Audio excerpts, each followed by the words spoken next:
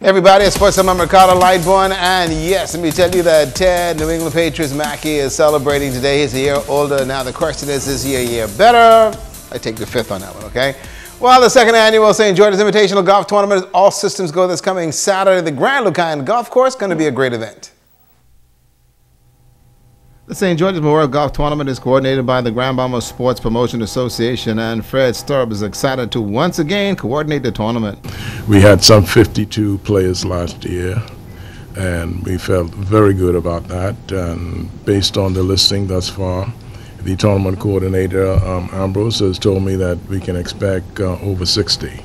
So we're satisfied that this event um, has grown very quickly into a signature so sports social affair for Grand Bahama, and we're happy with that. The flagship sponsor is BTC. Also, the Grand Bahama Port Authority, Buckeye, and others have signed on.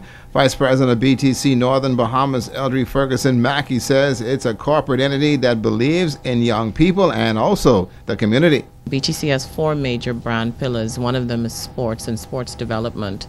And he would have noted over the past two decades, we've played an active role in not just the uh, Nassau community, we've played that role in most of the islands in terms of our engagement and involvement in sports. You'd note that we have ambassadors that are athletes. So we all know about the Golden Boys, the Golden Girls, Ariana, etc. So we have um, quite a diversified portfolio when it comes to supporting um, sports um, in the Bahamas. The St. George's Memorial is a four-person tournament and it's being dubbed the Go for the Hole in One. You could win $1,000, all compliment of BTC. Well, the Ruby Walkers completed uh, their tour over the weekend. You, Hanford Bain uh, and Freddie Bobo shot two over 38. Uh, Greg Bow with the 40. Marcus Hill won the tour, folks, with 81 points. Hanford Bain second with 79.41, and Greg Bow third, 63.08. Greg Maycock 61.5. And congratulations to Mali. He's our champion.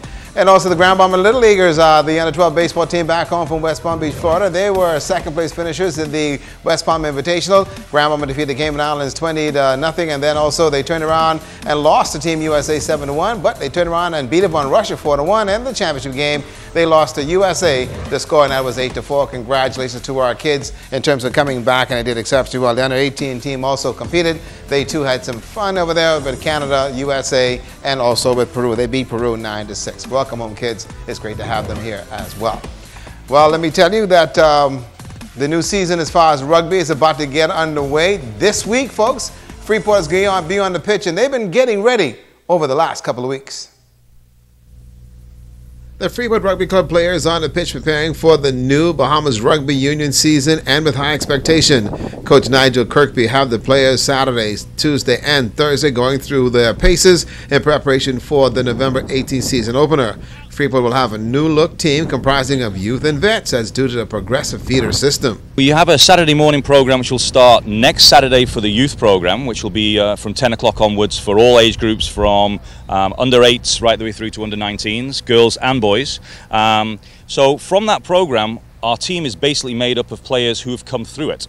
Um, we had 30 players out on Tuesday night and Thursday night practicing all different levels of ability, trying to make it into the men's team. And um, we're looking forward to a really good season. I think the average age of our team right now is probably round about 2021, which is fantastic news for the youth. Real men play rugby. Well, that's the premise of the game, as it's billed as a rock'em sock'em game. Coach Nigel Kirkby says that it's not the case, and the point that the game itself is total athletic development. There is this big fear that it's a bit of a rough game, um, and yes, there's a lot of contact, but it's controlled contact. Um, which I think what happens is when people come out and try the game, they realize that it's not as crazy as it looks. And I encourage you know everyone to come out on Saturday, the November the 18th, to to watch a game and listen and see what goes on. It's a, it's a fun game, it's a great game, and the nice thing is now is US colleges are starting to give scholarships for rugby players. So this is where we're going to start looking to try and get some of our young men off to college on scholarships with their rugby playing. Freeport Rugby Club will open its new season November 18th, and on the line will be the Cup. And also, they have basically said they want to elevate from last year. And they're going to be a tough team this year. We watch them work out. They're going to be doing exceptionally well. Wish them all the luck. You got guys like Harris, and you got also uh, Bert Campbell and Nicky Munnings, who will be on the sideline as usual. And yeah, Robert Nall will be there with his big mouth. That's a look at sports tonight.